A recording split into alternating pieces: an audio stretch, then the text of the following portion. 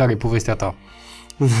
da. Uh, e, de unde să încep? Drogurile îți creează o iluzie că ești invincibil. Dacă vrei lăsăm asta pe montaj, dacă nu o scoatem, dacă bine țin minte, pentru că m-am interesat puțin, pe tine te-au prins în flagrant la biserică. Mă trezeam, făceam rutina, făceam două, trei linii, m-am apucat de vândut, am început de la 10 grame, în uh, două, trei săptămâni deja am la 20, apoi am la 50, 100, 150 și... Tot, tot creștea. Da, tot creștea, tot aveam flux tot mai mare. Să nu fi consumat, deci doar să fi vândut, să nu fi consumat, să nu-i fi cheltuit pe toate prostiile, poate că aș fi avut o garsonieră. La un moment dat, în 2021, deja renunțasem la facultate, munceam, tot am primit uh, cerere de la cineva din alt județ să mă adun niște pastile, că avem nevoie. Na, uh, un cunoscut de-a meu venise din Olanda și Cumva era combinația făcută. Da, cumva era combinația făcută. După ce am ieșit de pe portă, la un moment dat am văzut așa din zare două dube de jandarmi, două duster și cum încă din mers au sărit din duster cu veste și cu pistoale, am zis că poliția la pământ.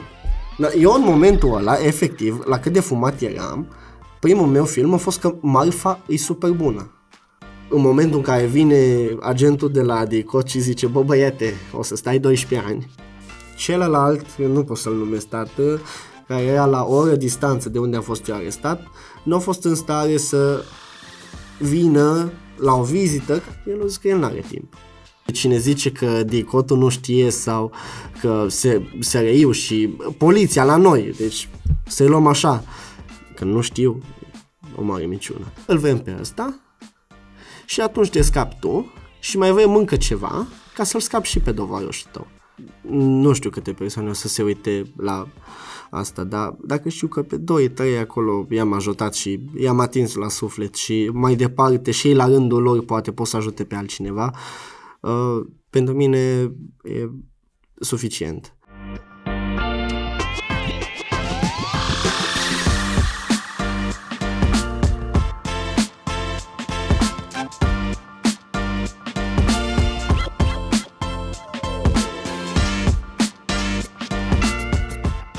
Mulțumesc în primul rând că ai acceptat invitația mea. Îmi permit să-ți mai strâng mâna încă o dată. Pentru mine e onoare și mă bucur că până la urmă în urma TEDx-ului s-a concretizat ceea ce am discutat ce anume să fii astăzi aici și să ne povestești și nouă și celor de acasă povestea ta. Îți mulțumesc încă o dată. Cum ești? Care e treaba? Da, deci uh, te mai salut încă o dată și îți mulțumesc de invitație, onoare de partea mea.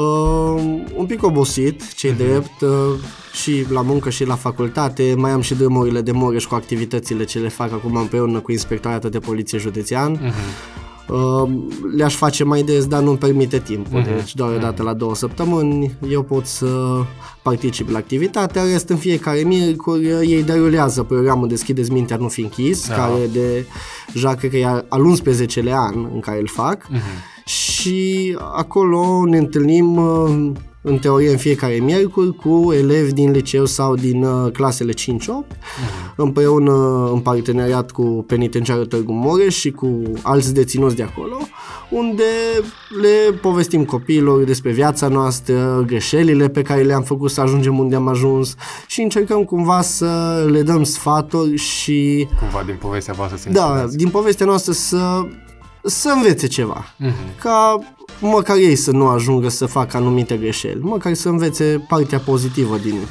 tot ce le explicăm noi. Citeam sau vedeam într-un podcast la un moment dat o fază că un om uh, inteligent învață din propriile greșeli și un geniu învață din greșelile altora.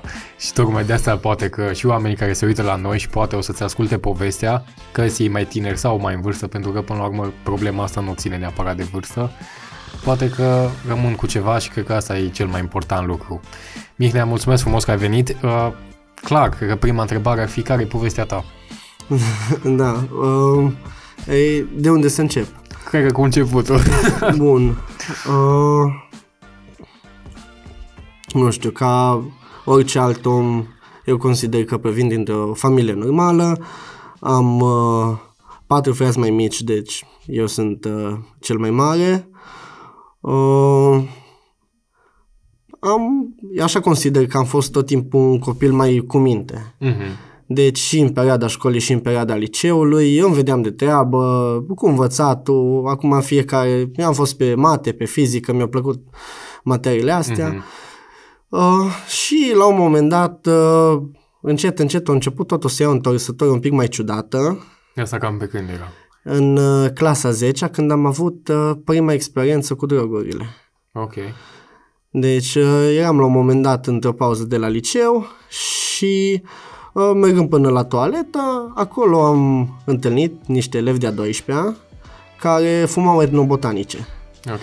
Și, nu, fiind copil, uh, curios și mai ales acum cum sunt toți tineri, de parcă au nevoie de validarea celor mai mari ca să se simtă și ei cool Integrați, sau mă. integrați, exact. Uh, povestind cu ei, mi-a spus că, uite mă, dacă te duci și ne ții de șase să nu vină profesorii, îți dăm și ție să fumezi. Acum, ce pretenție poți să ai de la un copil de 15-16 ani când unii mai mari zic chestia asta? Normal, m-am dus frumos la ușă, am ținut de șase, m-au chemat, mi-au dat și mie câteva fumuri de mai aveau acolo din uh, Mhm. joint și după aia s-a sunat să mergem la ore și fiecare s-a dus în treaba lui. E, când a început să-și facă efectul după scurt timp, uh, la ore mi s-a făcut rău. Uh, M-a luat cu stări de greață, de amețeli. uh, Parcă nu mai vedeam realitatea cum e. Și a, în momentul ăla, după ce am văzut tot ce se întâmplă, am zis, băi, așa ceva nu mai încerc, adică nu, nu-i de Da, mine, mi-a nu-mi ajuns place, cumva. mi-a ajuns. E, când am ajuns în clasa 11, la un moment dat, uh, am mers într-o excursie cu școala și era un băiat de-a 12 care fuma marihuana de data asta, cannabis și am zis că, mă, hai că asta e altceva. Adică nu e ca aia, hai că asta poate altfel e. Și la fel, tot așa din curiozitate, am zis, hai mă, că pot să încerc, că nu pățesc nimic. Din nou, am tras câteva fumuri și a început să-și facă efectul, m-a luat cu stări de panică, stări de rău, uh, Cumva se repeta scenariul. Exact, uh, îmi luam filme că nu-s bine, mă luat cu palpitații la inimă și am zis, "Hai, lasă-mă că nu, așa ceva nu mai trebuie să încerc. Păi iar în a 12-a uh, trecuse deja foarte mult timp dintre încercări și am zis, hai mă, că dar ce se întâmplă dacă mai încerc o dată? Că poate nu a fost momentul sau nu a fost așa, la fel, am încercat etnobotanice, tot așa, la oră am ieșit uh, în mijlocul orei pentru că mi s-a făcut rău, m-am albit la față, am fugit direct uh, afară în curte, noroc că cred că era noiembrie și era foarte frig afară, m-am dezbrăcat, am rămas în tricou și am stat o oră afară în frig ca să îmi revin. Au venit colegii, mi-a dus apă, mi-a dus ceva de mâncare și... la un- Colegii știau despre ce era vorba sau... Uh, doi dintre ei știau și ei s-au, ei s-au panicat un pic și au zis că hai să facem să-l ajutăm să Ok. își revină. Și la un moment dat venise un profesor și i-am spus că, uite, nu, am mâncat ceva cu poftă și poate de-aia mi s-a făcut Aha. eu, că îți dai seama să de și frică, nu, de frică ce am făcut, n-am vrut să supăr consecințele. Nu, am uh, terminat clasa 12-a, Ok. am... Uh, mie nu, nu-mi place să mă laud, nu sunt genul lăudăros. Uh, la BAC am avut uh, nota 10 la fizică. Wow, în, felicitări. uh, mersi frumos. În 2007 am fost chiar 5 elevi în tot județul. Deci au fost uh, pa, cei patru de la două licee foarte bune de la noi uh-huh. și am fost eu de la Gheorghe Șincai, care Ok. atunci nu era considerat un liceu foarte bun, dar cu notele cumva i-am Da, mai, ai fost- uh, totuși ai reușit da, să am faci o făcut o performanță. imagine bună, Da. am făcut o performanță. Am avut 90 la matematică și la român am avut 740. Acolo n-am fost niciodată genul care să poată să stea să învețe motamoșii pe de rost. Ok. Și de-aia mi-a plăcut mai mult matematica și fizica, mi s-au părut chestii mai logice unde stai și calculezi. O și până la știință urmă, exactă. o știință exactă, unde afli rezultatul. No, am plecat în Germania pentru că eu voiam să studiez arhitectura. Deja din clasa 11 făceam meditații la București odată la două săptămâni pentru arhitectură, pregătire. E, dar în Germania, prima dată, trebuia să fac școală de limbă, ca să pot Ok. să-mi iau atestarea în limba germană, ca să pot să studiez acolo. Mhm. Până am reușit să intru propriu zis la școala de limbă, durase un an de când am plecat. Na, între timp, eu mă angajasem. Mhm. Prima dată mi-am luat un mini-job, pentru că aveam permisul de puțină vreme și nu aveam experiență. Între timp mi-am cumpărat acolo o mașină, am prins experiență și am reușit, pe lângă mini-job, să-mi iau și un full job, făceam uh, delivery de pachete. Ok. Și uh, la un moment dat, cum îți dai seama, te împrietenești cu colegii, stăteam, uh, erau mai multe case ale firmei, foarte mulți români, majoritatea de acolo din case, cel puțin de vârsta mea și de până în 30 de ani cu care noi stăteam seară de seară, mai la o bere, la o poveste, fumau. Și fumau marihuana, pentru că acolo găseau mult mai ușor și era și o altă calitate. Mhm.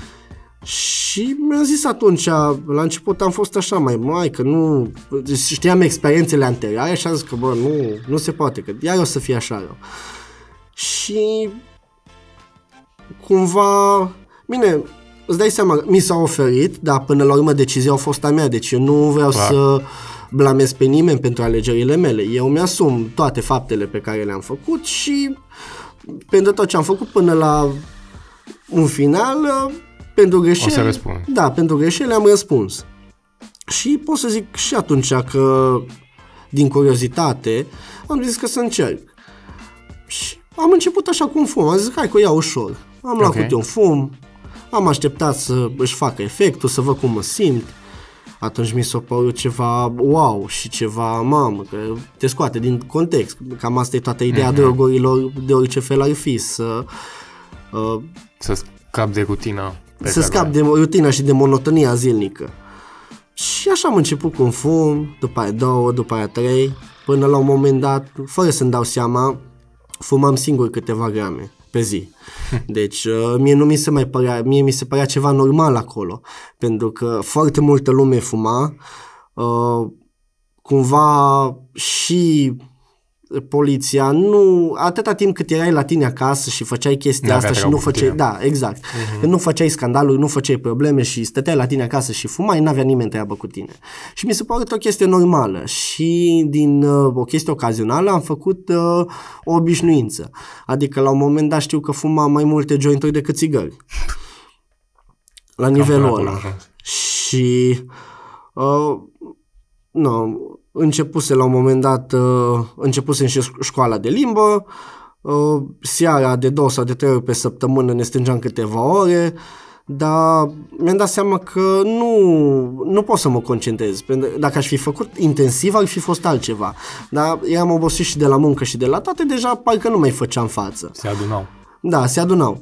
Uh, m-am mutat uh, la uh, cealaltă firmă noastră care era la c- vreo 100 de kilometri distanță pentru că mi s-a oferit salariu mai mare, că deja știam cel puțin uh, foarte bine ce am de făcut și pe un post uh, un pic mai bun, adică nu aveam o singură tură fixă, eu dimineața puteam să mă duc, ni- nici nu știam unde mă duceam. Mă duceam frumos, ajungeam la muncă și nu mă venea. Îmi aducea scannerul și spunea, uite, ai mașina, acolo ai toate pachetele înăuntru, descurcă-te. Trebuia să stau dimineața încă jumătate de oră, o oră să-mi aranjez eu pachetele încă o dată, pentru că cei care le aranjau, le aranjau Vraiște. da, cum voiau, stăteam, le aranjam pe toate, mi le scriam, deci eram destul de responsabil atunci la lucru. Uh, îmi scriam frumos tot și mă apucam, îmi notam pe GPS și să văd care, cum, și când terminam tora, terminam. Mai aveam și ridicări, între timp, uh-huh. cum aveam, livram pachetele, mai făceam și Practic tot ridicările. jobul ăsta de delivery. Da, și ridicările după masa și la un moment dat am realizat că nu mai fac față energetic. Deci Era eram cu extenuat. energia praf, eram mort, pentru că începeam la 4 și un sfert dimineața și ajungeam de multe ori seara la 8. 8 până mai mă duceam acasă, până mai făceam un duș să mai mănânc, deja era 10. Dacă mai voiam să stau să mă joc și pe calculator, deja trecea timpul și realizam că n-am destul de ore de somn. Și atunci am avut primul meu contact cu amfetamina. Ok. Și în uh, termen popular, cum foarte multă lume știe, speed e poreclit. Na, eu am zis în momentul ăla că am găsit soluția energiei. Dimineața frumos, la trei jumate aveam alarma, mă trezeam, făceam rutina, făceam două, trei linii, depinde câtă marfă aveam și mă apucam, le trăgeam, direct în mașină, inconștient că oricând m-ar fi putut opri la un test de rutină și să-mi facă un dracte și să-mi iasă. Clar. În momentul ăla așa de prăjit eram, că nu n-am cum să zic altfel. Mhm. Încât nu realizam că, bă, uite în ce pericol mă expun. Dimineața frumos trăgeam pe nas, mă duceam la patru la mini job, încărcam eu dubele, știam eu cum să le aranjez acum pachetele ca să nu mai pierd timpul, la 8 frumos, plecam Na, seara când veneam, îmi făceam câteva jointuri, fumam, ca să pot să adorm, că deja după o zi... Dacă nu... aveai energizantul de dimineață, aveai și somniferul de seara. Da, și pe lângă energizantul de dimineață mai aveam și vreo 3-4 energizante pe care le luam uh, oricum le luam. Deci Monster, Red Bull, ce apucam, unde găseam ceva rece, îl topeam. De mâncare să nu mai zic, dacă apucam să mănânc ceva așa pe fugă, de luam patiserie, că în rest aveam o masă seara pe care o mâncam, deci și la regin și la tot am fost varză.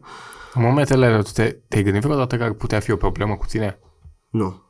Deci nu. Nu, de, totul devenise așa obișnuit, de era deja un stil de viață. Deci okay. nici, nu, nici măcar nu mai pot să o numesc obișnuință, mie mi se părea un stil de viață. Uh-huh. Adică știam că mă trezesc, atâta tot că sâmbătă, duminică nu lucram acolo, aveam weekendul liber, dar un weekend stăteam toată ziua în casă și mă jucam pe calculator. Mă, că atunci, în mare parte, stăteam ok și cu okay. minte. Oricum fumam toată ziua. Dar atunci nu mai trăgeam pe nas, că nu, nu trebuie nu energie. Dacă stau în casă, ce da. să fac? Și așa mi-am făcut rutina un ultimul an, deci doi ani am stat acolo, în ultimul an asta era rutina. Dimineața trăgeam pe nas, seara fumam ca să dorm. Da, după doi ani, la un moment dat, cred că chiar cu șase luni înainte să mă întorc, venisem de Crăciun acasă, de sărbători, am fost cu prietenii, am ieșit și întâlnisem online, mă cunoscusem cu o fată. Și am spus că ok, hai să ne vedem. Ne-am văzut, a mers totul bine, uh, m-am îndrăgostit și atunci în care am decis să rămân acolo. Și am spus că ok, hai că o să fac cumva și uh, în cel mai scurt timp când o să pot, o să vin acasă ca să fim împreună. Uh-huh. Da. Uh, asta s-a întâmplat în decembrie și uh, a trecut anul și anul ăla în septembrie am și venit. Okay. Am avut o mașină luată rate și am zis că până nu plătesc rata nu pot să plec. Adică da. mă, măcar mai aveam câteva chestii de bază unde țineam uh, responsabilitatea, uh-huh. deși eram foarte irresponsabil pe restul pe care le făceam, numai că eu nu-mi dădeam seama în momentul de față. Deci pentru mine era o rutină obișnuită, o, cum am zis, un stil de viață. Na. Am, m-am mutat înapoi în țară cu pretextul că nu pot să studiez acolo, că e greu să învăț limba, pierd mult timp, hai că să încerc să studiez deci în română. Deci că... doar niște vrăjeli. Da, inițial le-am pus doar ca niște vrăjeli, cred că mai mult pe ideea de a nu fi judecat că m-aș întoarce pentru motiv... Uh, pentru adevăratul motiv. Da, pentru adevăratul motiv. M-am gândit că n-aș fi fost înțeles știi? Uh-huh. Am, m-am întors în țară, m-am înscris la facultate uh, și am zis că hai să-i dau o încercare, că poate merge, dar după 2 ani de prejală maximă, creierul meu nu mai făcea față. Nu realizasem uh, cât de jos ajunsesem față de clasa 12, unde uh, poate că dacă aș fi continuat de atunci, uh, aș fi avut mult mai... Uh... Totuși, la ce notă bună ai avut în BAC, aveai potențial foarte mare să continui pe filiera asta și să și reușești. Da, uh, după 2 ani când am intrat la automatică și informatică aplicată, la orele de matematică, efectiv mă uitam de parcă aș fi fost un copil de clasa 1 la o clasă de a 12 la oră. Deci aproape că nu mai înțelegeam nimic. Ai pierdut și, și eu. Da, am pierdut și eu foarte mult, deci de la momente când rezolvam super repede anumite probleme, că mi se păreau ușoare, ajuns aceleași probleme să mi se pară foarte complicate. Și m-am zis că hai că încerc, încerc, până am ajuns în prima sesiune unde m-am dus la examen, la primul examen și am zis că nu, nu pot să fac față. Și atunci cumva uh, am decis că o să renunț. Între timp, uh, mă cuplasem cu fata, și amândoi eram consumatori. Okay. Deci cu toate că am venit acasă, consumam în continuare, prăjala zilnică era la fel și la un moment dat uh, tot aveam discuții și certuri, la început tot a fost rost, ca în orice relație, tot rost, frumos, fluturaș, floricele, dar fiindcă amândoi eram consumatori, eu zic că chestia asta o afecta foarte mult relația. Uh-huh. Pentru că au intervenit și sevraje, și nervi, și certuri, foarte multe chestii care și la bază cred că au avut uh, foarte mare influență drogurile. Și la un moment dat, până și ea mi-a zis că, bine mă, dar eu, mie nu trebuie un șoarece de bibliotecă. Eu vreau să am un băiat rău lângă mine ca să știu că sunt păzită. Nu, no, filme. Acum, ceea ce, ce pentru un băiat îndrăgostit Da, da ceea doare. ce pentru un băiat îndrăgostit doare foarte tare. Și uh, eu chiar am fost genul care mi-am propus că eu niciodată nu o să mă schimb dacă știu că nu e o schimbare înspre binele meu. Și eu acum nu vreau să dau vina pe ea. Clar. Pentru că uh, la fel și cu prietenii cu care Anturajul. Consider, na, anturajul cu care mă drăgam în fiecare zi și nu mă căuta nimeni în momentul în care eu am fost arestat. Uh, nu îi învinuiesc sau nu vreau să denigrez pe nimeni. Până la eu mi-asum faptele mele, îmi asum greșelile mele și eu, pentru tot ce am făcut, eu până în momentul de față am plătit și poate încă plătesc pentru că a fost decizia mea. Aici a intervenit liberul meu arbitru. Într-adevăr, da, am avut influență și din stânga și din dreapta. Dar decizia a fost a mea, pentru că în același timp în care aveam anumite influențe negative, uh, prietenii mei adevărați, care și acum sunt alături de mine și și pe timpul uh, în care am fost închis, au fost alături de mine, ei încercau să mă influențeze pozitiv, au încercat să mă ajute de foarte multe ori. Hai mă, lasă-te, hai să facem cumva, hai. Și în momentul ăla atât de spălat eram pe creier și de droguri și de toate chestiile din jur, încât le-am zis că hai mă, lăsați-mă, că eu vreau să-mi trăiesc viața, ce știți voi, eu sunt dealer, am... Mm. Începusem uh, în uh, primul semestru de facultate, uh, așa încet, încet, am zis că mă, da, stai un pic, vrea bad boy, hai că o să fiu eu bad boy. Și am început de la 10 grame de iarbă și m-am, m-am apucat să le vând. Tot așa, și un copil, și acum mă consider copil, cu toate că am 24 de ani, dar atunci la 20 de ani. Eram super copil, toată viața am fost mai copilăros. Și am zis, păi stai un pic, că, hai că facem noi. Și m-am apucat de vândut, am început de la 10 grame, în 2-3 uh, săptămâni deja am luat 20, apoi am la 50, 100, 150 și... Tot, tot creștea. Da, tot creștea, tot aveam flux tot mai mare. Clienți n-am căutat niciodată. Adică, la început, uh, neștiind lumea, am încercat cumva să caut lume care consumă. Uh-huh. Nu să influențez lume care nu are legătură cu lumea asta.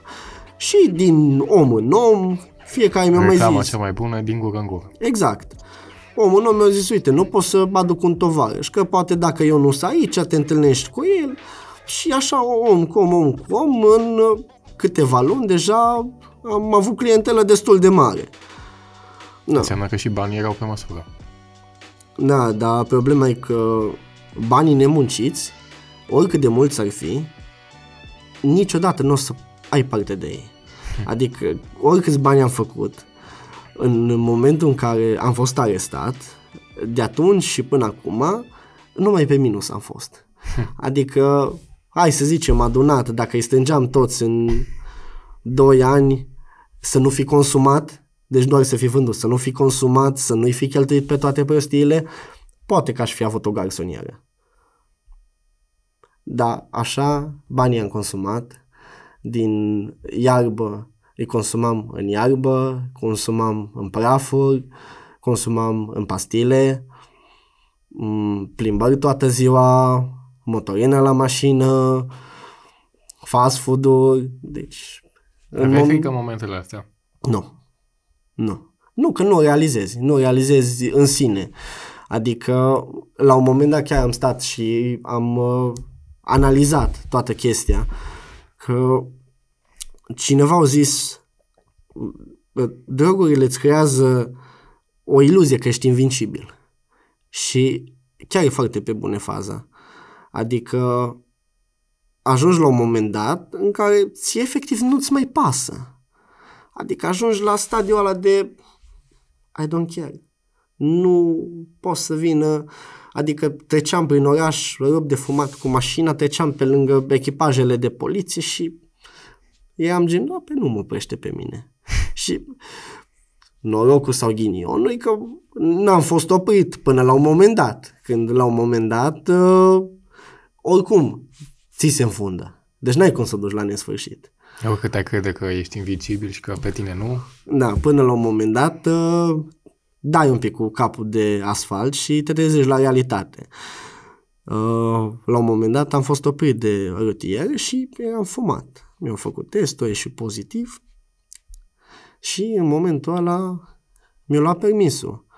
Deci mi l-a suspendat până uh-huh. la final, finalizarea procesului.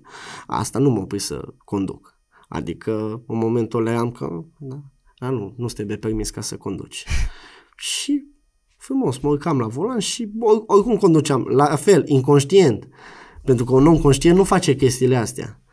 Dar degeaba familia îmi spunea că nu-i bine sau voiau, ei voiau să mă ajute prietenii, păi la băieții ăștia de care zic și câteva fete care încercau și nu mai știau ce să facă efectiv ca să mă ajute, să scap de toată chestia, de două ori am renunțat la ei.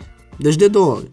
Am renunțat odată, le-am făcut un ghosting foarte urât. Deci uh-huh. mie și acum mi-e rușine. Deci de multe ori când uh, stau cu ei și în momentul ăsta, mi-e rușine să-i privesc în ochi. Adică nu știu dacă observă sau nu. Eu știu că nu-mi poartă pică sau ceva și că mă iubesc foarte mult și și eu iubesc pe ei de mai ceva ca ochii din cap. Adică sunt oamenii care nu m-au lăsat la greu la propriu. Și am renunțat la ei prima dată, și n-am mai vorbit, cred că timp de un an. Bine, între timp, eu nu știam chestia asta. Ei între timp țineau legătura cu maica mea. Ok. Deci, maica mea cumva le zicea, uite, bine, uite ce face. Maica mea știa toată chestia. Să știi că contează foarte mult chestia asta. Da, deci ei, eu credeam că ei m-au uitat și de fapt ei țineau legătura cu maica mea și no, îți dai seama, ei știau cu ce mă ocup, ea știa cu ce mă ocup, nu era de acord, dar la un moment dat era foarte frică că o să mă piardă. Și la un moment dat, pentru un timp foarte scurt, chiar s-a întâmplat chestia asta, dar din cauza mea. Pentru că după ce am renunțat odată la ei, ei au venit, m-au căutat. O să mă, te, mai încercăm noi încă o dată. Nu, asta este, ținem la tine, mai încercăm încă o dată să te ajutăm, nu avem ce face. Și am zis ok. Și a doua sau a treia zi deja la fel, le-am dat ghosting. Deci am dispărut din viața lor așa, buf. și au zis oamenii, bă, dacă tu așa vrei, îți respectăm decizia și noi ne tragem la o parte. Și nu-i învinuiesc. Adică oricine ar face așa. Vine odată, vine... Scuză-mă. Adică nu pot să-ți bagi joc de om la nesfârșit. Clar. Eu în lumea mea acolo am zis că, bă, la, voi nu, nu mă înțelegeți, aveam vise de draglor, să ajung Pablo Escobar aici în Moreș, să fiu din cauza drogurilor, nu ai ce să faci. Adică la un moment dat îți creezi niște filme de... Tu chiar crezi că ai realitatea. Și a fost un foarte mare impact pentru mine uh, revederea cu ei, că a doua, prima dată am renunțat, au venit și a doua oară când am renunțat, eu n-am mai vorbit cu ei până în momentul în care am ajuns în pușcărie propriu-zis. Deci în 2021 când am ajuns până acolo. Nu, după ce am început facultatea, m-am apucat de vândut, am tot vândut, stânga-dreapta, am trecut prin chestia asta cu ei, am renunțat la ei și la un moment dat, în 2021, deja renunțasem la facultate, munceam, tot am primit uh, cerere de la cineva din alt județ să mă adun niște pastile, că avem nevoie. Na, uh, un cunoscut de-a meu venise din Olanda și Cumva era combinația făcută. Da, cumva era combinația făcută. Unul avea nevoie, unul avea stocul. Cerere și ofertă. Exact. Și am zis că, bă, astea se pupă. L-am luat pe băiat frumos cu mine și am zis hai să mergem. Am plecat, am plecat din județ, am ajuns acolo. E, ceea ce noi nu știam era că cu două luni înainte, tipul respectiv fusese prins uh, cu pastile la el. Și normal ca el să se scape și să aibă șansă la o suspendare, a făcut un denunț pe mine. Știe că eu mă ocup cu droguri sau cunosc alte persoane care se ocupă cu droguri. Practic ți-o dat în gât. Exact. Noi n-am știut nimic. Omul, timp de două luni, tot s-o ținut că, da, suntem frați, ai că o să facem chestii faine împreună, aveam planuri să... Nu, planuri de junkie, n-ai, n-ai ce să zici, aveam filmele noastre. Și uh, am ajuns acolo pe o zis, ne-am dat jos, au făcut schimbul și la un moment dat, după ce am ieșit uh, de pe poartă, din locul ăla, acum nu o să dau nume, Ok. După ce am ieșit de pe poartă, la un moment dat am văzut așa din zare două dube de jandarmi, două duster și cum încă din mers au sărit din duster cu veste și cu pistoale, am zis că poliția la pământ. Na, Eu în momentul ăla, efectiv, la cât de fumat eram, primul meu film a fost că marfa e super bună. Deci aia a fost prima mea reacție. Am zis, bă, ce bună e marfa, e așa ceva nu se poate. Deci ce văd acum e 100% un film. După aia am zis, stai mă, că dar n-are cum să fie. Am zis, bă, fii atent că ăsta au venit cu tovară și lui, să ne ia și marfa, să ne ia și banii, să ne lase așa și să plece. Adică am zis că, bă, în limbaj de cartier, e o gherlă. Deci ne dă gherlă omul, ne-o la marfa bani toți și-o plecat, ne lasă pe minus. E, în momentul în care ne-au pus la pământ, un pic m-am trezit și m-am dezmeticit și mi-am dat seama că de fapt stai un pic că asta chiar e poliția și jandarmii. Propriu zis m-am trezit a doua zi pe arest. În schimb, în noaptea aia mai țin minte puține chestii pentru că eram foarte rău. Țin minte că totuși domnii de j- la jandarmerie au fost foarte drăguți, adică au vorbit foarte frumos cu noi. Nu... Acum depinde de fiecare caz Aha. Aha. subiectiv. În cazul nostru noi am fost liniștiți, n-am fost recalcitranți, nu am trebuit să făcut, da, aplici alte n-am metode. făcut scandal, m-a întrebat frumos, ești cu minte? Și am zis că cu minte. Eu zis, atunci îți pun cătușele în față. Mi-au pus cătușele în față, am stat cu minte, ne-au împărțit frumos pe mașini, m-au luat frumos, m-au pus în dubă, am povestit cu ei am am zis că nu, dar nu stăm în liniște, am povestit cu ei, i-am rugat dacă pot să pună muzică, mi-au pus muzică, nu, m-am mai liniștit și eu și am În ajuns... momentele alea conștientizai ce se întâmplă? Sau încă credeai că o să scapi și că o să fie tot ok? credeam că o să scap. Deci eram la aproape de o criză de râs. Eu am zis în momentul ăla că, bă, eu am fost intermediar, aia e, n-are ce să-mi facă. Când de fapt în România așa e legea, că nu există că ești intermediar. Adică voi amândoi ați făcut aceeași faptă. Pentru că noi amândoi am avut aceeași acuzație. Deci noi amândoi pe aceeași acuzație. Nu contează că eu n-am, că a fost a lui și că a fost a lui. Amândoi am fost pe aceeași acuzație și de fapt am fost complici. Că așa s-o luat. Noi în momentul în care eram și în dubă și așa, m-am apucat crizele de râs. Am zis, mă, nu se poate. Hai că a doua zi, așa eram convins 100% că a doua zi îmi dă drumul de pe arest sau o noapte pe arest și mă duc acasă. E, de unde? A doua zi, frumos la judecătorie, mandat, 30 de zile de arest preventiv. Ma, eu, mu- toată lumea mi-a murit. E, în noaptea arestului, au zis că dacă vrem să anunțăm pe cineva. Mamă, deci mi-a fost o rușine să o sun pe maică mea. Am zis că nu, deci eram în stare să sun pe oricine, dar nu pe maică mea. Așa că mi-am luat cumva așa curaj și mi-am scris la tatăl meu biologic, am scris, mă, uite, am o problemă, uite, asta s-a întâmplat, m-au arestat, te rog frumos, uh, ajută-mă cumva. I-am zis, mă, numai el mă poate ajuta. Mhm.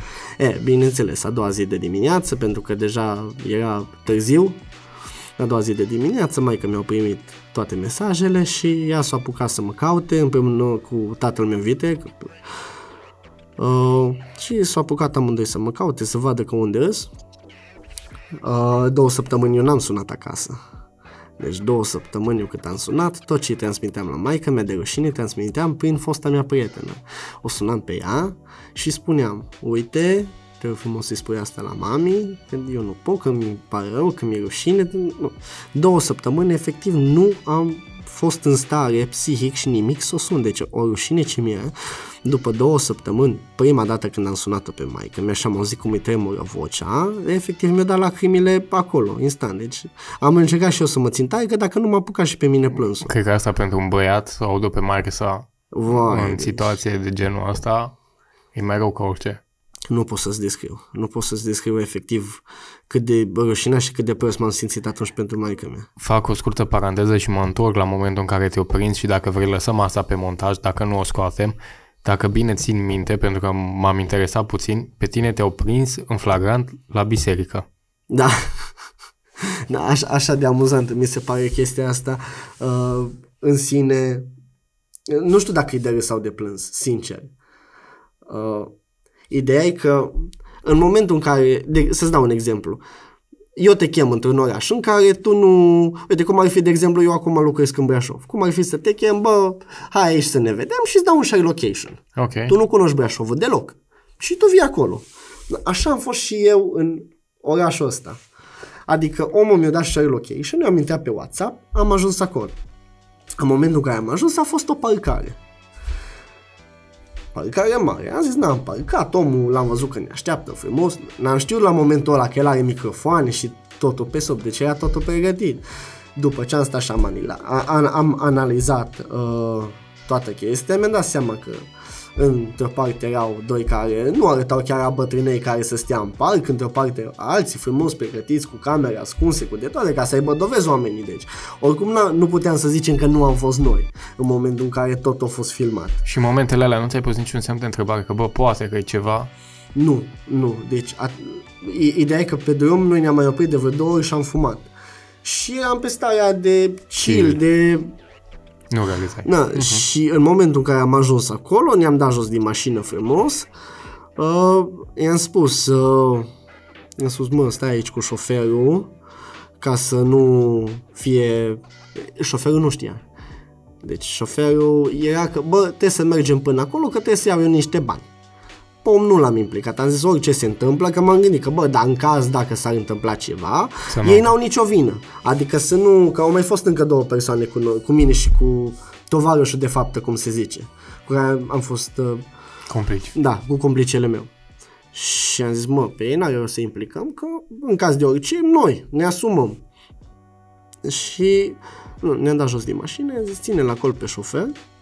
Și m- am luat eu cu complicele, ne-am dus la băiatul ăsta, am dat mâna și el a spus că hai aici, înăuntru, că e lume în parcare. Și am zis, bă, mi se pare logic, dar nu facem ca la piață, că nu-i dai un kill de roșii sau chestii, că mai ales o chestie din asta, zic, hai să ne ascundem. Și am intrat, era un zid, deci mănăstirea, biserica, avea un zid și atât cât am intrat după poartă, era poarta deschisă, am intrat după poartă, au făcut schimbul, între timp șoferul de curios a venit să vadă și el, o văzut, a rămas așa, că ce se întâmplă, i-am zis că hai, lasă că vorbim, și în momentul în care noi am ieșit de pe poartă, atunci ne-au saltat. E, acum, că am văzut că e biserică sau că e mănăstire, noi nu am realizat în sine că, bă, poate e ceva Suspect. nu știu, dar nu neapărat suspect, dar nu, nu am ele, adică oriunde ne-ar fi chemat, că ne chema în Carrefour, că ne chema la McDonald's, oriunde ne-ar fi chemat, ar fi fost exact aceeași chestie.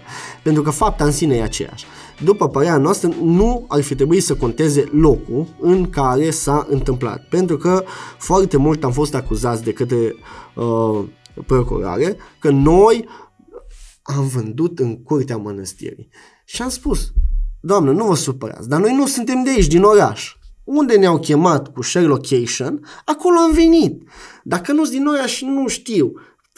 Da, bine, dar până la urmă, cum ai spus și tu, pentru ei problema era locul în care s-a făcut fapta și nu fapta în sine? Da, deci a- aia, aia, aia, am înțelesem, aia înțelesesem și noi la un moment dat, că pe, mai tare îi afecta faptul că noi am vândut droguri în curtea unei mănăstiri decât fapta în sine. Adică a- ajungea ne, ne acuza la okay. proces. Noi stăteam, așteptam să fim acuzați. Avocații veneau frumos și vorbeau și spuneau, ok, bun, da, uite, e că sunt copii, că nu realizează că ce fapt au făcut, că uite amândoi sunt dependenți de droguri, au făcut chestiile astea, deci avocatul ca să ne apere și cu chestiile noastre, pentru că până la urmă, da, noi ne-am asumat și am făcut, dar noi nu realizasem până la momentul la gravitatea adevărată a faptei, adică dacă mă întreb pe mine de acum, realizez cât de inconștient am fost și cât de grea voi. Dacă mă întreb pe mine de atunci, o să zic că e o chestie normală, e o chestie pe care o vedea peste tot, pentru că vedeam și în filme și, și în realitate mulți dealeri care oriunde se duc nicio treabă, mi se părea ceva normal. E, acum, dacă stau să analizez, nu mi se pare ceva normal. Și la un moment dat, efectiv, eram frustrați amândoi, că am zis, bă, dar ne mai acuză mult că am vândut în curtea la biserică. Am zis, nu, dacă o fi, ne iartă Dumnezeu, că ce, unde am făcut? N-avem ce să facem, că n-am cum să dau timpul înapoi. Frumos, când am fost acolo singur, într-o cămăruță unde am avut liniște mea și am putut să vorbesc eu cu divinitatea, acolo am zis, dacă am greșit, acolo îmi pare rău, nu am știut. Nu am ce să fac, n-am știut. Îmi pare rău pentru ce am făcut. Vreau să uh, îmi răscumpăr greșelile, vreau să fac ceva ca mai târziu să pot să știu că mă uit și mă bucur de realizări. Adică nu vreau să rămân la nivelul ăla. Și tot timpul când vorbeam cu Universul, cu Dumnezeu, cu, cu divinitatea în sine, când aveam momentele alea de eram eu singur și stăteam acolo și pot să zic că mă rugam, îmi doream să pot să fac ceva ca să ies de acolo, din toată starea, din tot stilul de viață, din toată viața aia pe care aveam și să revin pe drumul cel bun și să pot să fac ceva benefic și pentru mine, dar și pentru cei din jur. Pentru că înainte dădeam numai, numai distrugere. Deci fiecare gram vândut uh, e o distrugere vândută pentru persoana aia sau pentru cealaltă persoană, adică eu le făceam rău, deși nu realizam. Eu credeam că le fac un bine, că uite bă, nu o găsi nicăieri mari, o găsi la mine, oamenii sunt fericiți, se duc acasă, își fac un joint, fumează, sunt fericiți, wow. Ce mi se pare foarte interesant e că ai avut momentul ăsta în care ai vorbit cu Dumnezeu și ai cerut chestia asta și mă regăsesc cumva în povestea ta pentru că am avut un moment similar, tocmai foarte, foarte apropiat de al tău, gândindu-mă că am avut la momentul respectiv o persoană lângă mine care am crezut că poate prin chestia asta pot eu să o câștig, știi? Și să spun că da, domnule, asta trebuie să fac, pentru că asta caută de fapt o persoană la cealaltă, să fie un bad boy, să arate cine e el și faci niște chestii pe care le regreți. Și în momentul în care stai cu maică ta plângând în pat și tremur și tremură și ea și se uită la tine și plânge, în momentul ăla e cerul lui Dumnezeu să te ierte și să te ajute să faci ceva ca să poți să schimbi pe alții să nu ajungă în postura asta. Și tocmai de asta am ajuns eu astăzi la medicină.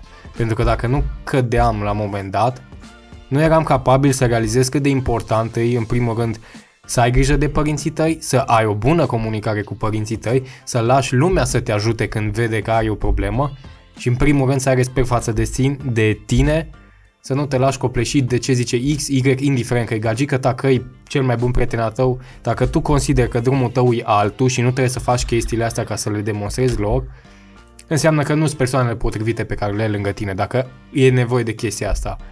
Și exact cum ai spus tu, mi s-a ridicat și părul pe mână, pentru că exact la fel ca și tine am fost și eu, plângând i-am zis lui Dumnezeu, dăm te rog frumos o șansă să-i pot ajuta pe cei care se simt la fel de neajutorați cum mă simt eu în momentul ăsta. Și asta trebuie să conștientizeze lumea care poate să uite la noi și dacă vor să învețe ceva, aici ai. Chiar, chiar m-aș bucura să știu că nu știu câte persoane o să se uite la asta, dar dacă știu că pe 2-3 acolo i-am ajutat și i-am atins la suflet și mai departe și ei la rândul lor poate pot să ajute pe altcineva, uh, pentru mine e suficient. Adică, într-adevăr, vreau multe lume să să ajute pe multă lume. Dar dacă din aia mulți, măcar pe câțiva i-au ajutat, pentru început e un, un pas micuț, dar e un pas productiv. Și un pas de care eu sunt mulțumit. Și eu luăm frumos cu baby steps. Adică nu... Având în vedere că ești astăzi aici, poți să povestești chestia asta, repet, poți să povestești astăzi aici, în momentul ăsta, cred că e una dintre cele mai mari realizări. faptul că ai reușit să ieși din tiparul ăsta și să te redresezi. Dar revenim un pic la poveste, pentru că povestea ta nu se termină aici. Practic ați fost uh, la judecător și care a fost sentința? Bun, uh, procesul în sine a durat undeva la un parcă 15 luni. Deci un an și trei luni cam așa. Am fost arestați în mai, în 2021. Uh, a doua zi după ce am fost arestați am primit 30 de zile de arest preventiv. Apoi am mai primit încă o dată 30 de zile pe care am stat, în care am stat pe arest, adică în arest, de fapt, uh, unde în primele 5 zile am avut insomnii și am uh, cerut să fim duși la un test ca să demonstreze că suntem consumatori. Okay. Noi am vrut să motivăm cumva că, uite măi, suntem dependenți, deci nu îi, of, n-am făcut doar trafic, deci noi din cauza consumului am ajuns până la urmă acolo. Uh-huh. Uh, și am primit de la psihiatrie tratament cumva uh, de dezintoxicare cred că ar fi fost. Adică dimineața primeam două somnifere, două calmante și seara primeam două somnifere, două calmante. Și erau din alea de 500, adică... Erau tari. Erau foarte tari. Adică 24 din 7 am tranquilizat. După 3, 4, cred că 5, maxim 5 zile dacă am luat tratamentul. La un moment dat și uh, colegul cu care eram în celulă mi-a zis că, bă, eu zic că pentru binele tău să nu mai iei așa ceva și stai cât și aici lângă tine, te ajut să faci să treci peste toată chestia era asta. Era același că... coleg cu care nu, era, era altul? Nu, era altul. Ok. Un uh, băiat cu care și acum țin legătura. Uh, a încercat să mă ajute cumva să mă înțeleg pe mine, că și el o trecut printr-o chestie de genul și să mă ajute să trec natural prin sevraj, adică fără nimic. Adică numai să stau și să sufăr, să transpir, să elimin toate drogurile din corp. O sta cu mine, m-a conciliat, am povestit, am râs, cumva încerca să nu mă facă să mă simt acolo. Uh-huh. Să, să mă simt ca și cum aș fi într-o tabără și m-a ajutat foarte mult uh, el pe perioada arestului două luni cât am stat uh, în arest. Uh, cum am zis, după 5 zile maxim am, am renunțat la tratament, deci nu-l mai luam. Că am zis, băi, mă brejește. Deci mă, mă loveau mult mai tare decât dacă aș fi, m-aș fi drogat cu orice. Adică să iei patru somnifere și patru calmante într-o zi întreagă, te, mai ales dacă nu ai o vrăboală care să-ți necesite așa ceva, e mult, e foarte mult. Deci eu l-am considerat ca un substitut al drogului, adică e tot un drog, dar ilegal și ți-l dă pe rețetă. Uh-huh. Adică nu trebuie să te duci uh, să... nu știu, uh, nu trebuie să te duci să te droghezi ilegal cu marihuana, dau exemplu, și să te riști, poți să te duci frumos la psihiatru, bă, uite, am o problemă, am chip, am, oh, și îți dă rețetă pe Xanax sau pe alte somnifere și din astea și te duci, tu le folosești ca și drog. Adică nu fumezi un, un joint că îți iei jumătate de somnifer și la, la fel de tare te rupe. Numai că am observat că diminețile mă trezeam, deci nu, nici mușchii nu mi mai simțeam, eram legumă efectiv și după 5 zile am zis că eu așa ceva nu mai iau.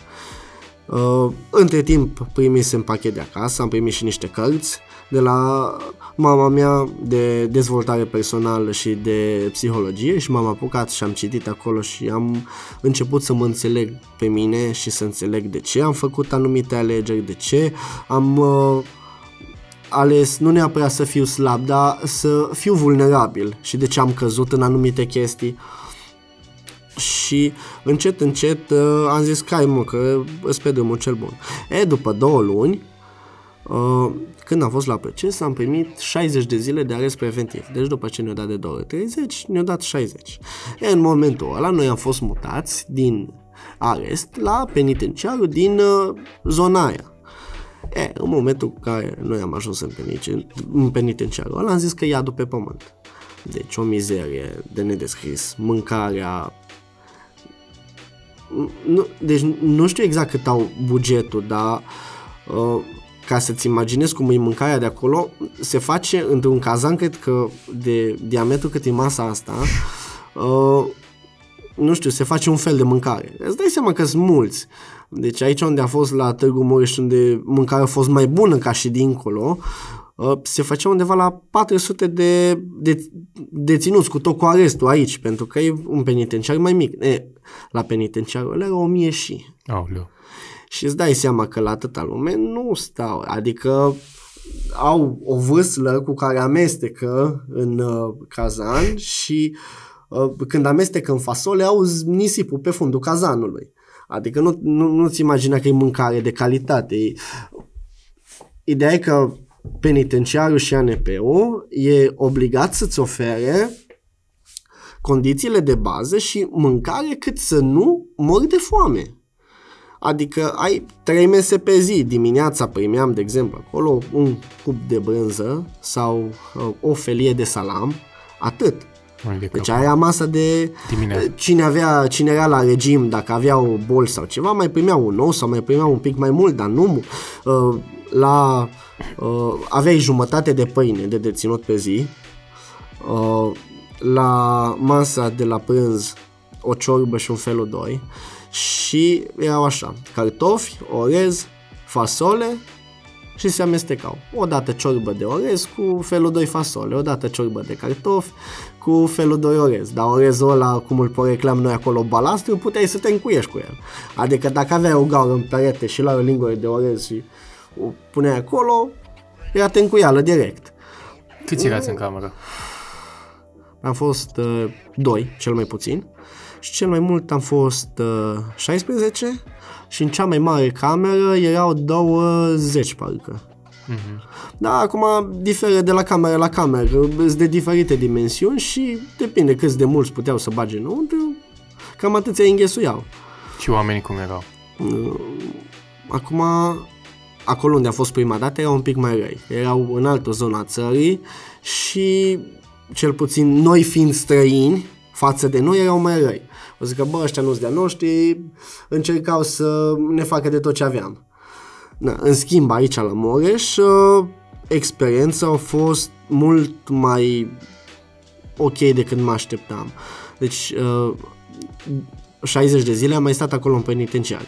E, după 60 de zile, când am avut iar proces, am făcut contestație, pentru că am mai primit 60 de zile, am făcut contestație și am primit arest la domiciliu, la curtea de apel. În momentul în care eu am ajuns de la proces înapoi, eu am făcut contestație, eu am spus și la complicele mele, am zis, bă, nu îmi place să zic complice, că mi se pare că sună urât, dar to- tovarăși de fapt. Așa, în jargonul de pușcărie, așa se vorbește, o să-ți mai zic câteva jargoane Ok. dacă mai uh, ajunge. Da, și am zis și la tovarășul meu, am zis, mă, fă și tu contestație. Și eu l-am zis, bine, bine, pe noi ne-au separat. Eram într-o cameră, el era într-o cameră. Era pe cealaltă parte. Când avea el aerul, noi stăteam în cameră. Când aveam noi aerul, ei stăteau în cameră. Și n-a putut să ne întâlnim. Eu am făcut contestație, el nu. Când am ajuns la contestație, mi-a dat arest la domiciliu. Când am ajuns, n-am aflat pe moment. Am ajuns înapoi la penitenciar, am servit masa de prânz, am ieșit la plimbare după masă și au venit uh, polițistul de penitenciar, că nu le place să le zici gardieni, dar cum se zice acolo, milițieni. Deci acolo toți sunt milițieni și hoți. Asta e un alt exemplu de jargon. Deci polițiștii sunt milițieni și restul nu contează ce ești, hoț, deținut. La unii nu le place, nu zici hoț, că nu am nu cu furt, Aha. dar deținut și hoț. Și când a venit milițianul la mine și m-a strigat, eu, hai că te-ai eliberat.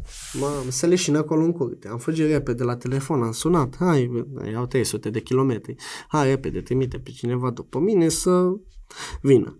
E, Practic, cât ai stat închis? patru luni. Până am primit arest la domiciliu, patru luni. E, ca să revenim o mică paranteză, când îți spuneam de prieten care a renunțat de două ori, unul dintre im- impacturile, sau nu știu cum se zice la un impact foarte mare pentru mine a fost în momentul în care vorbisem cu maica mea și mi-a spus că unul din, adică toți m-au căutat și am zis că bun, întreabă că pot să-l sun. Și au zis că da și am băgat numărul și îl sun, dar eram, deci aveam niște emoții atunci și i-am zis că uh, răspunde, ce faci, bă? Eu, boz la pușcărie. Face că știu. Nu, n-avea ce să zică. Și omul efectiv, uh, fiind mai aproape decât uh, cei de la Moreș, au reușit să mai vină la două vizite. Deci nu zic cum a fost vizita. Bine, am avut un plexiglas și vorbeam la telefon față în față. Dar Practic ca în o- filme. Da, dar oricum a contat foarte mult pentru mine și faptul că Au venit. a, au reușit să vină. Cum era mai aproape decât uh, ceilalți de la Mureș. Și ei ar fi venit, dar nu, na, nu s-au nimerit. Uh, și m-a ajutat foarte mult că mi-au fost alături, cu toate că, nu, de două ori am trădat, i-am dat la o parte, ei au fost alături de mine și îmi sunt alături în continuare. Apoi, după patru luni, am primit arest la domiciliu. Și, fu, deci să nu zic cum a fost drumul până acasă și de, deci, e, efectiv, uh, ca efectiv în momentul în care am intrat în mașină s-a întors la mine și mi-a zis bă ce puța pușcărie. Îți dai seama, saltele destul de vechi și pe încerci, ai spălătoria de haine o dată pe săptămână, dacă nu poți îți cumperi leghean de aer și îți speli tu la mână și le pui la uscat, deci n-ai, mm-hmm. n-ai ce să faci dacă nu vrei să stai după ei să ți le spele. Și e- ținte mirosul ăla și în piele și în haine, deci eu cred că vreo două săptămâni o dorat până mi-a ieșit o mirosul. Și eu eram, o, mie, nu mi se părea că nu miros ciudat, dacă stai toată ziua mirosul ăla, la un moment dat te obișnuiești și nu-l mai simți. Clar. Dar, nu, am, am ajuns acasă, am fost foarte fericit, acolo am primit uh, toată susținerea lor și susținerea familiei și am zis că bun, hai că o să încerc să fac, să fie Între mai timp, spre prietena bine. ta mai era cu tine? Nu, nu, deci noi uh, încheiasem atunci după două săptămâni, nu n-am mai sunat-o, ne-am certat și eu n-am mai sunat-o, am zis că eu nu te mai sun. Uh, ulterior o sunasem uh, chiar înainte cu o săptămână să primesc arest la domiciliu, că a fost ziua ei, am sunat-o să-i zic la mulți ani, am vorbit, nu știu ce. După aia iară ne-am certat și am zis că nu te mai sun, n-am mai sunat-o. Între timp tu erai arestat la domiciliu? Nu, între timp eram chiar în ultima săptămână înainte să primesc Ok, okay, la ok, domiciliu. ok. Am sunat, am zis că lasă-mă în pace, am închis telefonul, am zis, bun, nu te mai sun. Și în, uh, dacă nu, da, am primit arest la domiciliu și la o săptămână au trebuit să mă duc la proces. Nu, la, pre- numai la proces aveam voie să ies, tot așa frumos cu un proces verbal făcut de către cei de aici de la poliție care veneau și cu traseu, deci nu Mhm. oricum. Arest, n-aveam voie să ies din curte. Și la o săptămână m-am dus la proces și în momentul în care veneam înapoi, cum eu nu mai aveam permis și nu știu, da, nu mai aveam permis, eram în dreapta, cu taică meu m-am dus, uh, taică meu vite, dar el e taică meu pentru mine. Ok. Deci uh, el m-a crescut, el a avut grijă de mine, el s-a interesat, uh, celălalt, nu pot să-l numesc tată, care era la o oră distanță de unde am fost eu arestat, nu a fost în stare să vină la o vizită ca să-mi aducă niște haine și mâncare, pentru că nu aveam nimic, am arestat cum eram îmbrăcat, m-au arestat. Nici măcar nu trebuia să dea un ban de la el, pentru că mai mi-a zis, bă, noi suntem la 300 și de kilometri, uite, îți plătim noi tot drum, tot, toate cheltuielile, Da, nu du-te dai un acolo. ban de la tine. Du-te o oră, re- nici nu trebuie să stai atâta la vizită, du-te duile care e nevoie. El a zis că el n-are timp. Păi, și atunci mai ai pretenție de la mine? Adică eu încerc tot timpul să fiu iertător și să n-am pică pe el, n-am oră, doar că Te așteptai în să ochii primești. mei, da, în ochii mei s-a terminat uh, tot ce a fost acolo. Și de-aia zic că pentru mine unui tată. Uh-huh. Deci taică meu, uite, el e tatăl meu. Pe el îl consider, el m-a crescut. Na, și veneam cu taică meu și când am ajuns în Mureș, la un girator, la un girator frumos, vedeam că vine către trecere și atunci a fost prima dată când uh, m-am văzut cu ea bine, dar din mers, din mers, efectiv. Deci știu că am trecut, m-am uitat, m-am văzut, au rămas cu gura căscată și stai că mi-a frumos s-a dus în continuare. Eu zis, lasă. Și de atunci cred că a fost, cred că aia a fost ultima dată când i-am văzut. Și aia, numai din trecere, Asta se întâmplă acum câți ani? uh, 2 ani, Acum 2 ani. deci acum 2 ani. Practic când te-ai întors acasă la arest la domiciliu, începea perioada ta de vindecare? Sau ai mai Mm. recăzut? Am recăzut, deci după două luni, pe arest n-am avut de unde să faci rost de nimic. Clar. Uh, Mă îți gândesc dai că seama, simt- un, se, un sevraj nu trece de pe o zi pe alta. Un sevraj trece poate și în câțiva ani. Că nu e neapărat sevrajul fizic, că e sevrajul psihic. Și după două luni când am ajuns acolo la pușcării, am făcut rost de etnobotanice, pentru că numai alea erau acolo. Adică erau stropite frumos pe foaie de pătrățele, că așa e acolo pătrățel. Șoricioaică. Da, șoricioaică. Și îți tai pătrățelul, ți-l faci cu unghie, îți faci un mini joint și l-ai fumat. Și Nu, acolo am putut să facem rost, am făcut rost. E, după astea patru luni de infern, să zic, am ajuns pe domiciliu, am zis, hai mă că poate am șansă să scap. Deci eu încă visam la faptul că o să primesc suspendare. Ca încadrare pentru trafic de droguri de mare risc fiind pastile ecstasy, am avut în momentul ăla, în 2021, încadrare de minim 5 ani, maxim 12. E, uh, ideea e că la un moment dat, oricum, oricum era clar și mă așteptam să îmi aud foarte multe chestii și păreri bune sau uh, oameni care să zică chestii bune și chestii încurajatoare și oameni care să îmi dea hate. Și normal că la un moment dat oricum mi-am auzit și faze că ești sifon, că ai sifonat, că ne-ai dat la gardă, că nu știu ce, adică toată lumea cu care eu stăteam și îmi fumam marfa zilnic, adică au fost foarte multe lume la care eu nu le ceream bani. Adică cu cine ieșeam eu, dacă îmi făceam un joint, eu îl dădeam mai departe. Deci nu n-am fost niciodată genul zgârcit niciodată în viață și până să mă apuc de chestiile astea. Adică eu tot timpul, dacă desfăceam o pungă să fim 30, dădeam să ajungă la toți. O pungă de pufuleț o împărțeam la fiecare, să Eu știu că tu ai avut ocazia să o faci, să dai în gât și n-ai dat. E adevărat? mi s-a propus, dar a fost, a fost o fază foarte urâtă din perspectiva mea. Uh,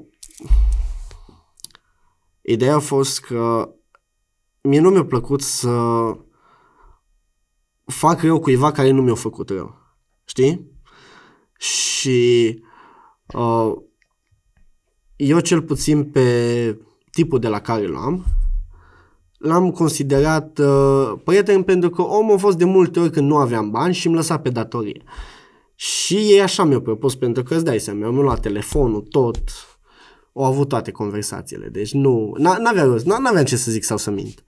Și mi-a zis frumos, uite mă, îl vrem pe ăsta și atunci te scapi tu și mai vrem încă ceva ca să-l scapi și pe dovaroșul tău. Pentru că așa merge. Deci așa e toată. Uh, Ideea cu declarațiile, sunt foarte mulți care au fost la declarații și au umplut foi, care, pe care îi vezi pe stradă și nu, te mă, cum să fiu? Adică toată, cred că toți care au trecut prin chestii de genul sau care au ajuns la declarații, nu știu dacă sunt câțiva care au ieșit fără să scrie nimic. Până la urmă și eu am scris anumite chestii, dar ale le-am scris pentru că la un moment dat sub frica aia că, bă, dacă nu cooperezi cu noi, uh, o să tragem să iei maximul, toată lumea se gândește, bă, decât să plângă mama, mai bine plânge mai sa lui altul, adică în momentul în care vine agentul de la Adicot și zice, bă, băiete, o să stai 12 ani, adică atunci cred că oricine cât de mafiot să fie sau așa o să zică, hai mă că îți dau niște, adică până la urmă oameni mai N-ai de înalți, ales. da, oameni mai înalți au făcut anumite declarații, nu eu, nei ca nimeni, care nu-s nimeni. Și mi-a spus atunci că, bă, ni-l dai pe ăsta. Na, eu, pentru că omul nu mi-a făcut rău niciodată, eu am zis că, bă, eu așa ceva nu fac. Nu pot să-i fac lui. În schimb, da, am avut câțiva indivizi care uh, la un moment dat au vrut să-mi facă și... Fentă. Da, au vrut să-mi facă și ei niște manevre la rândul lor, pe care, bineînțeles că băieții de la Dicote știau deja. Deci eu când le-am spus de ei, eu zis că, a, păi știm că sunt clienți fideli la noi. Deci n-ar fi fost cineva neștiut de ei. Și eu zis că, bă, dacă ar fi eu să fac ceva, eu aș face pe ei. E, oamenii au fost toți plecați, n-am avut pe cine, bineînțeles, o accept, o... Uh, ei s-au bucurat că eu am fost cooperativ. Eu am încercat. Bă, uite, ăștia oamenii ăștia mi-au făcut mie rău, eu la ăla nu pot să-i fac nimic, că eu nu mai vorbesc cu el. Eu așa am zis, bă, eu nu mai vorbesc cu el. Nu mai aveam gare. În momentul, ea, noi am vorbit de la început, în momentul în care unul dintre noi e arestat, nu ne cunoaștem. În momentul în care eu am fost arestat pentru că s-a aflat foarte repede, omul a știut, nu ne mai cunoaștem. Nici n-am mai vorbit de atunci, nici n-am mai ținut legătura, noi suntem fantome, nu ne mai cunoaștem. Omul ăla nu mai există pentru mine, eu nu mai exist pentru el. Atât a fost respectul că am reușit să ne transmitem unul la altul că, bă, am fost arestat. Omul a aflat, mi-a transmis prin cineva mulți, mersi că m-ai anunțat că ai fost în perspectiva lui băiat și i-am zis că, bă, dacă omul m-a ajutat, eu nu pot să fiu măgar cu el, nu-l dau în gât. În schimb, pe o declarație, am scris pe oamenii aceștia care mi-au făcut rău. Uh-huh. În schimb, oamenii fiind plecați, cum... așa merge la noi în România. Dacă nu uh, materializezi denunțul, cum mi-a făcut el mie, băiatul ăsta cum mi-a făcut mie. De... Până noi cei, cei în mână, noi mici. Exact. Poți să dai declarații degeaba. Deci în, în birou de la DICOT, cred că mai ceva, două camere din astea pline numai de declarații, cred că de aici din Mureș. Deci, uh, mie degeaba, i-am zis, pot să mă strige lumea peste adă și sifon și cum vor ei, pentru că mie mi nu mă afectează hate-ul. Deci pe mine nu mă afectează hate-ul. Dacă pot să zic ceva bun despre cineva sau dacă pot să ajut pe cineva, încerc. Dacă nu, nici nu-l încurc. Da, într-adevăr, în momentul ăla normal, eu mi-asum, îmi asum. Da, de frică am făcut niște declarații. Dar, având în vedere că am fost condamnat definitiv și am fost închis, declarația aia a fost nulă. Deci eu degeaba am zis pentru că oamenii oricum știau. Pentru că oamenii mi-au spus și mie în momentul în care mi-au arătat conversații și tot. Au zis, mă, voi degeaba încercați să vă ascundeți pe aplicații, să uh, vă trimiteți. Au zis degeaba, că noi oricum avem acces la toate. Chiar să vreau să te întreb, cât de, cât de pregătită e Foarte, foarte. Nici eu nu mă așteptam. Deci nu mă așteptam. În momentul în care mi-au arătat niște chestii pe calculator, eu am rămas acolo, bă, nu se poate așa ceva. Deci cine zice că dicotul nu știe sau că se, se reiu și poliția la noi, deci să-i luăm așa, că nu știu, o mare minciună. Deci e vrăjeala asta cu Snapchat-ul, cu orice... Da, e vrăjeală, nu există. Deci, până la urmă, orice hacker, deci există și hackerii buni care sunt angajați de ei ca să spargă, deci poate să spargă orice telefon, orice cont, nu există, deci da, poate ia mai mult timp, dar au tehnologie foarte avansată, deci noi nu suntem conștienți cât de avansată e, doar că nu se arată, stau cu tehnologia acolo pentru că îți dai seama când tu nu te aștepți. Normal că lor li mai ușor, dacă tu te aștepți și încerci, adică cred că până, până și dacă ai trimite porumbei mesageri pe o chestie de genul, tot l-ar intercepta cumva. Tot ai găsi o metodă să-l intercepteze. Deci, uh, conversațiile poți să ai ce aplicații, eu nici n-are o să dau exemple de aplicații, că pe orice aplicație ești, că e plătită, că nu e plătită, oricum au acces la ele. Deci tu în momentul în care ai trimis deja mesajul, mesajul ăla nu se șterge niciodată, tu poți să-l ștergi. Mesajul ăla rămâne într-o arhivă undeva și se poate accesa. Deci degeaba zic că, bă, mai dat în gât tu sau mai dat în gât tu, că eu oricum știu. Ei știu tot. Ei știu tot. Eu știu că eu ce am făcut, ei știu că ăla ce-o vândut, ei știu că ăla ce-o cumpărat. Deci e indiferent. Faza asta cu declarațiile îi, și cu, îi, cumva spre ajutorul lor. Pentru că unul care știe că tu lucrezi la DICOT, păi nu o să-ți vândă. Nu o să-ți vândă. Dar dacă eu nu știu pe unul care, nu știu, din trei oameni am ajuns, că bă, mi l-a recomandat ăla, ăla, ăla, și văd la om o dată, de două ori, de trei ori, văd că ea, văd că n-are nicio treabă, că e ok, nu te aștepți la om că să-ți facă vreo manevră. Și așa se întâmplă. Și te iau pe tine, pe tine, pe tine, ca să ajungă la peștele mai mare, dar pe până la urmă la ea nu se știe dacă se ajunge. Cum a început vindecarea ta? Sau când mai degrabă, după ce te-ai... Eu undeva după arestul la domiciliu, deci la arest la domiciliu am reușit să stau 10 luni în care am tras că să ne mai lase, să ne mai lase, să ne mai lase. E, după 10 luni de arest la domiciliu, inițial, în uh, ianuarie, primisem condamnarea în primă instanță. E, procurarea a cerut 6 ani. Și când am auzit 6 ani, am zis, bă, n-ai cum. Deci, eram într-o depresie neagră, maximă. Zic, bă, n-ai cum așa ceva. Și am tăiat, am făcut apel și ne-am dus la curtea de apel și am zis, bă, ok, uite, n-am, suntem primari, adică e prima batere, prima faptă, prinsă, dar nu contează, e prima faptă. Caz ieri n-aveam niciunul, deci uh, am cooperat, că până la urmă am recunoscut fapta, că acolo am vrut să ajung, încadarea 5-12. Bun. Noi ne-am dus pe recunoaștere. Ne-au filmat. Adică n-aveai cum să zici că, bă, nu e așa. Mhm. În momentul în care ne-au filmat, noi am spus, da, ok, recunoaștem fapta. Da, noi suntem ăștia, noi asta am făcut, ne pare rău. E, în momentul în care noi am mers pe metoda simplificată, adică pe recunoaștere, am beneficiat de scăderea la o treime din încadrări. Deci din 5-12 am rămas la 3 ani și 4 luni, 8 ani. Pentru că n-am mai avut fapte, uh, am cooperat de la început, deci nu ne-am schimbat declarațiile, nu nimic, am mers pe mo- metoda simplificată, eu am primit 3 ani și 4 luni și uh, complicele meu au primit 3 ani și 6 luni pentru că el mai avea marfă la el și mai avea marfă acasă. Mhm. Deci eu dat cu două luni în plus că avea mai multă marfă. No, bineînțeles că... Asta a fost cu executare. Da, cu executare.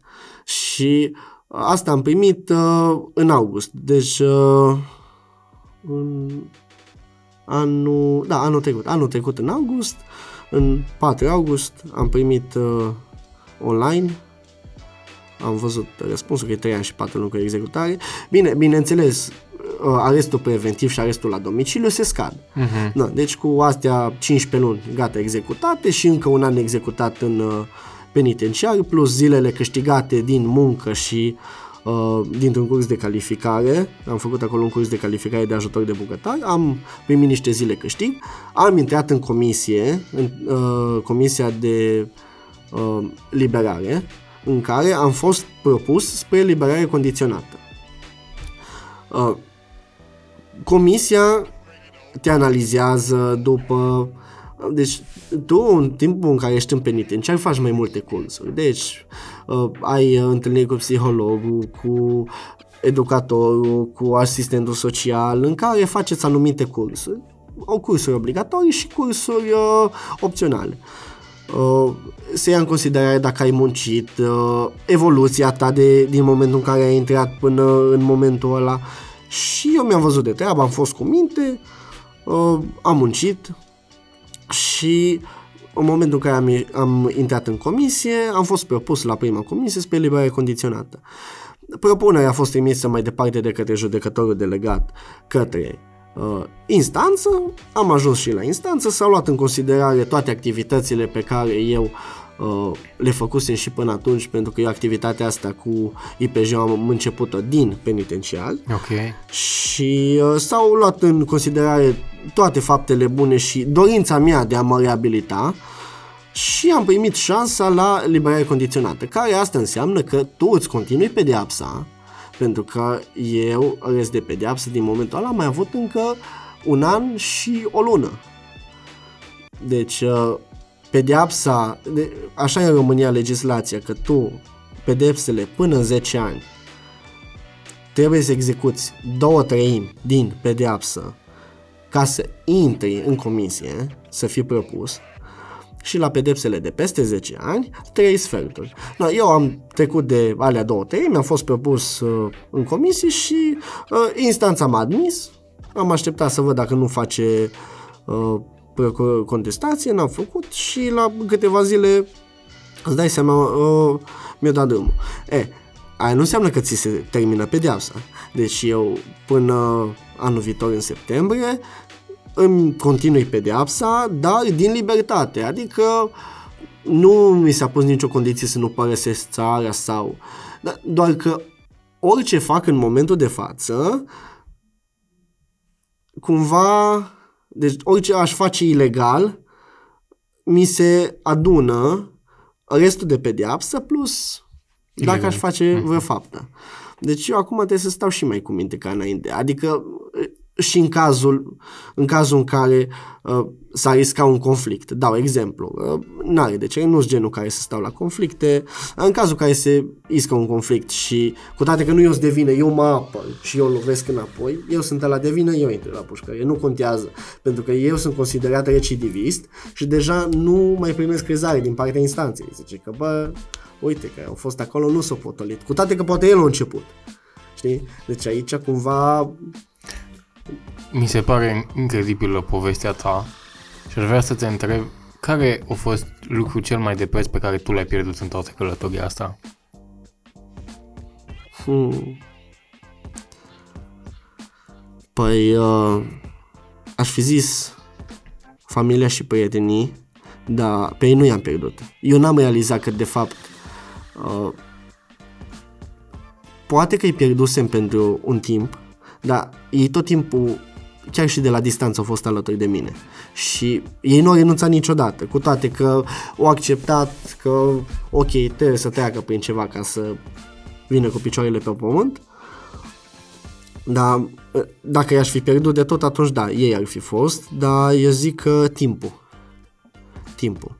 Deci, uh, ăștia doi ani cât timp am fost privat de libertate, nu pot să zic că sunt doi ani de pușcărie, doi ani în care am fost privat de libertate și uh, ăștia alți trei în care mă drogasem, deci pentru mine au fost cinci ani pierduți, pe care n-am cum să iau înapoi. Adică dacă m-aș putea întoarce în timp să... cu mintea de acum... Ce sfat ai da? Nu știu. Nu știu, sincer, sincer, e o întrebare foarte grea. Dacă ai sta în fața ta cu, în locul meu să fie acum, tu din clasa 12 cu nota aia din BAC, ce îi spune? Să facă ce crede el și să-și urmeze visul. Adică să nu se lasă influențat. Numai dacă e o influență înspre bine. Mm-hmm. Deci alt, alt sfat nu cred. Eu sunt... Uh, am început și că vorbeam de vindecare. Uh, am mai citit și niște cărți despre spiritualitate și uh, eu nu sunt religios, adică da, sunt botezat creștin ortodox, dar nu-mi place să mă iau după anumite uh, reguli sau... Stereotipuri. Exact, stereotipuri. Și am descoperit uh, spiritualitatea în care uh, că spre Dumnezeu, că spre Univers, că, oricum l-ai numi, uh, tu te rogi divinității, dar nu-i faptul că te rog, dă Pentru că așa am început cu uh, momentele alea mele de rugăciune, nu ceream ceva, ci am realizat și mulțumeam pentru ce am primit până acum. Deci uh, eram ceva de genul Universule, îți mulțumesc pentru tot ce mi-ai dat până acum, știu că orice se întâmplă oricum e ceva ce trebuie să se întâmple, deci ce e scris să fie, aia o să fie. Și îți mulțumesc pentru tot ce mi-ai dat până acum și mă las la voia ta, cumva. Adică ce o să fie, o să fie. Eu o să încerc să dau tot ce am mai bun din mine și mai departe ce o să se întâmple, aia o să se întâmple. Ce tare. Și cumva să mulțumesc, nu să cer, pentru că în momentul în care cer, poate nu primești, dar în momentul în care mulțumești, o să fii surprins de ceea ce primești. Noi cu toți invitații la final avem o chestie și anume îi punem în postura în care, de exemplu, și sunt sigur că se întâmplă chestia asta, dacă este acum un copil acasă care a trecut prin ceea ce treci tu, fie că e implicat în partea asta cu drogurile, fie că are o problemă de orice tip, se uită acum la tine și are nevoie de ajutorul tău cu un sfat, care ar fi ăla?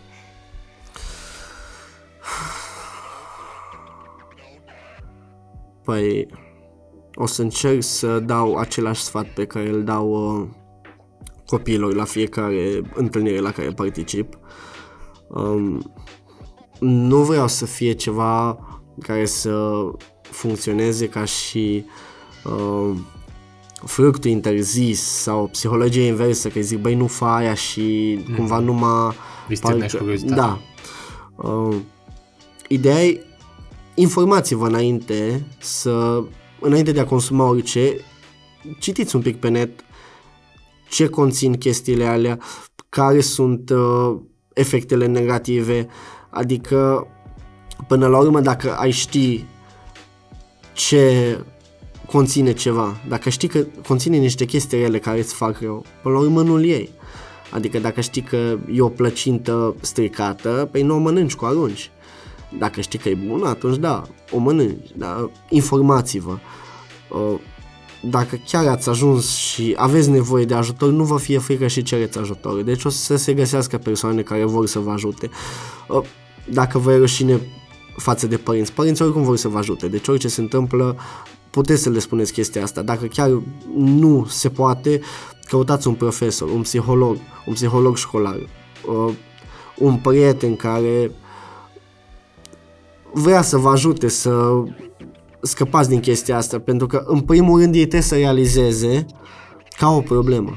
Pentru că eu timp de 2 ani eu n-am realizat că am o problemă. Deci mi puteai să-mi spui în față și eram, băi, eu nu am o problemă, mie mi se pare că tu ai o problemă când îmi spui mie chestia asta.